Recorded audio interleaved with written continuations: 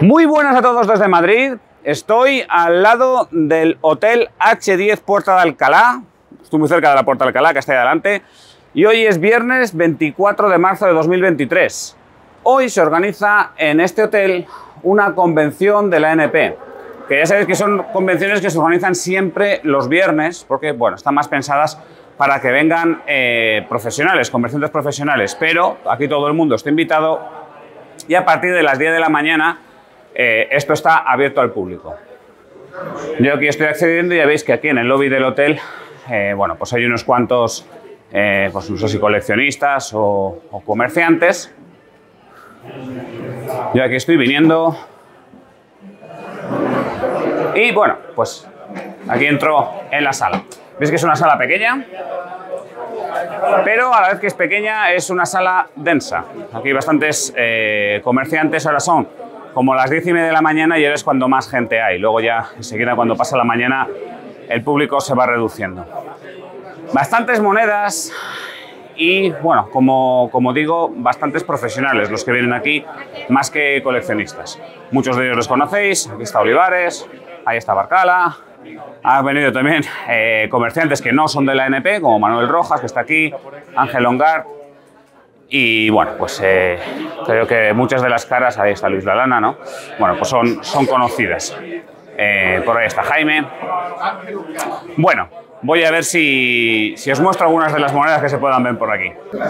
Un comerciante que prefiere mantenerse anónimo me ha dejado estas cuatro monedas para que os las muestre. Son cuatro monedas, cada una con una denominación diferente.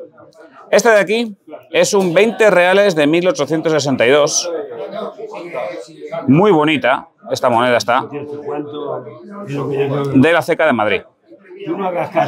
Esto es una moneda ya rara. Sí que tiene ahí unas rayitas que se pueden ver, pero está, está muy bien ya. Ahí tenéis el, el canto grabado. ajustarlo bien y no quedarme corto. Indica Rey, Patria, Ley, ¿no? Ley, hay aquí, y Patria, efectivamente. Este de aquí es un duro de 5 pesetas, 1893, y es PGV. Los PGV son mucho más raros que los PGL, y en esta calidad más todavía.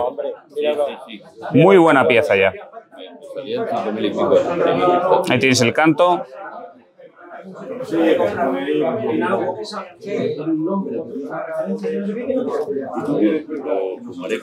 Muy interesante esta moneda.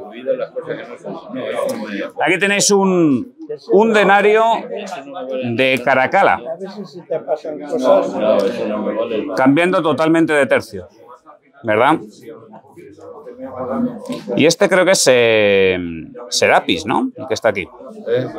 ¿Eh? ¿Este cuál es? El 58, 300. Bueno, ya un denario muy bonito. Y aquí está un, eh, un denario también de Orbiana. Esta es la mujer de Alejandro Severo.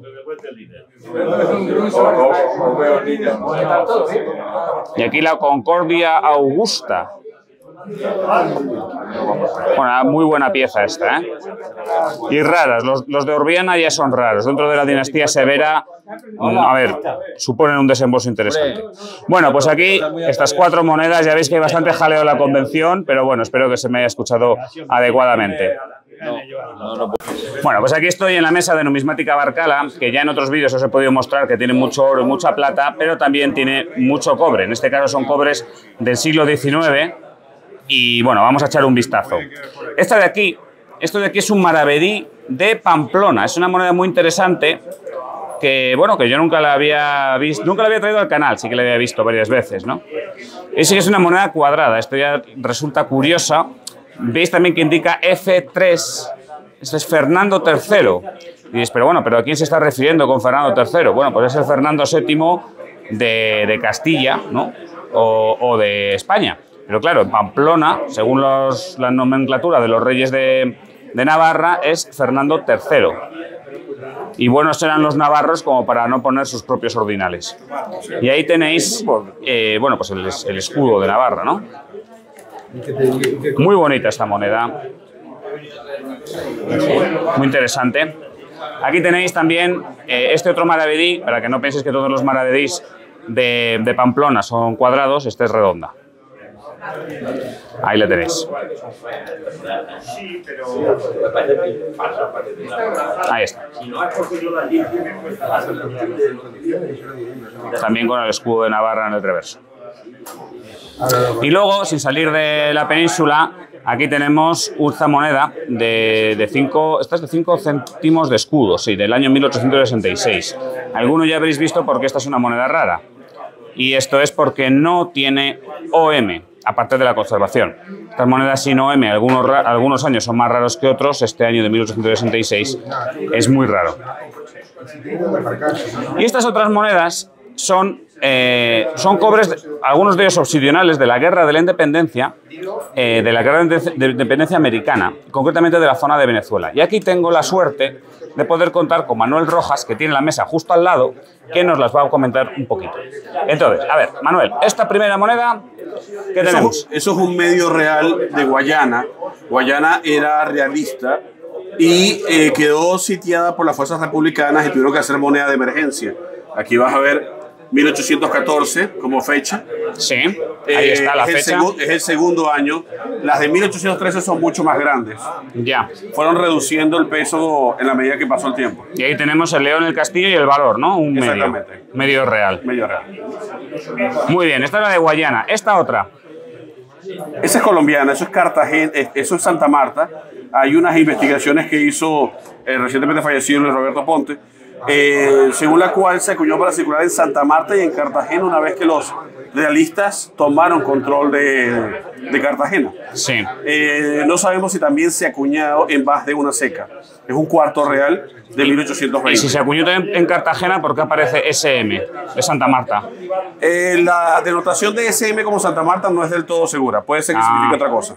Vale, vale, vale, vale.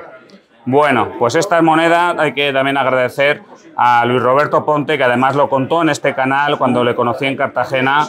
Y bueno, pues una gran pérdida para la numismática eh, hispanoamericana. Esta otra. Esa es republicana, es una pieza de, de Cartagena de medio real, 1812, creo que es, eh, si puedes voltearla para ver la fecha, Sí. creo que es 1812.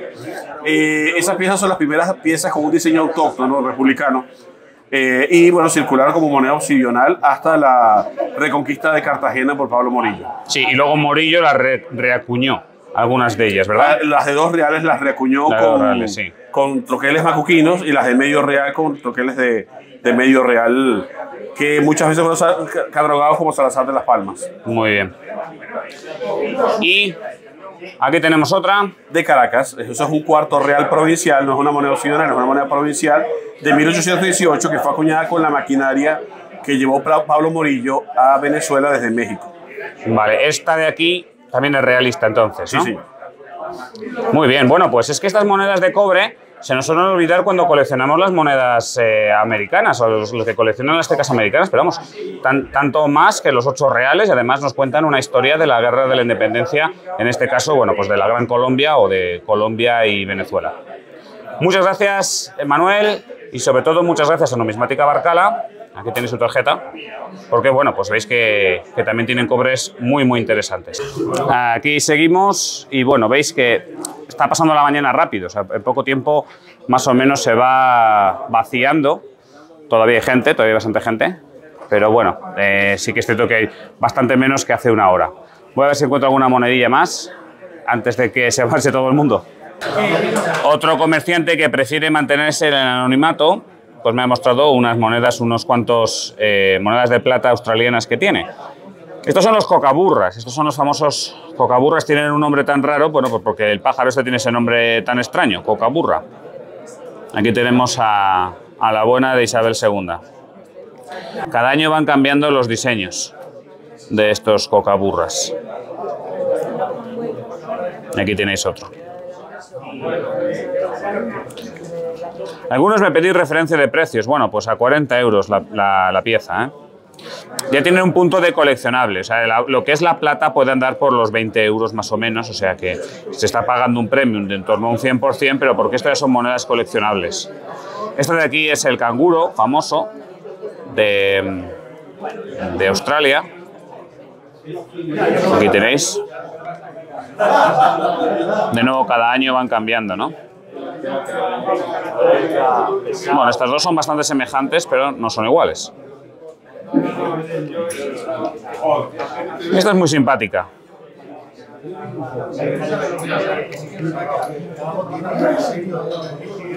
Además tiene un acabado muy bonito. Esta me gusta. Tanto el diseño como el acabado. Y bueno, y aquí también otro de los clásicos. Vamos a ver si lo sacamos bien. Ahí está. Esto es el koala.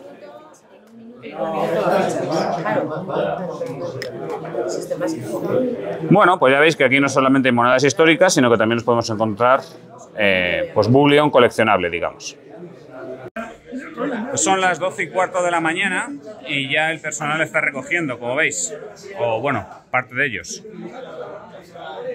Ya siguen algunas eh, personas, algunas caras conocidas, pero bueno, ya, ya se va recogiendo.